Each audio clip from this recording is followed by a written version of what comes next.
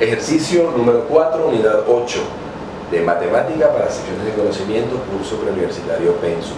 Me dan esta expresión y me piden a qué equivale, a qué simplificar. Atención, el cuadrado que está en estos elementos del numerador no es el cuadrado del logaritmo, es el cuadrado del argumento, es decir, es el logaritmo de x al cuadrado, no el logaritmo cuadrado de x, hay que tener cuidado.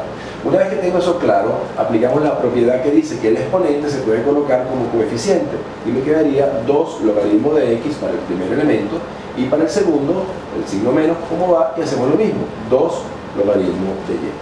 Bueno, esto está ya demasiado simple porque ahora el numerador es factorizable por el máximo común que es 2, o el factor común como lo quieren llamar, logaritmo de x menos logaritmo de y y ese eh, paréntesis de arriba se va a cancelar con el paréntesis o la expresión de abajo y la respuesta es 2 que corresponde a la opción C.